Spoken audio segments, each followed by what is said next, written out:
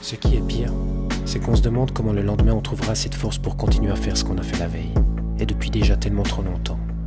Où on trouvera la force pour ces démarches imbéciles, ces mille projets qui n'aboutissent à rien, ces tentatives pour sortir de l'accablante nécessité, tentatives qui toujours avortent, et toutes pour aller se convaincre une fois de plus que le destin est insurmontable. Qu'il faut retomber au bas de la muraille, chaque soir, sous l'angoisse de ce lendemain, toujours plus précaire, plus sordide. C'est l'âge aussi qui vient peut-être, le traître, et nous menace du pire. On n'a plus beaucoup de musique en soi pour faire danser la vie. Voilà. Toute la jeunesse est allée mourir déjà au bout du monde, dans le silence de vérité. Et où aller dehors, je vous le demande, dès qu'on n'a plus en soi la somme suffisante de délire. La vérité, c'est une agonie qui n'en finit pas. La vérité de ce monde, c'est la mort. Il faut choisir, mourir ou mentir. Je n'ai jamais pu me tuer, moi.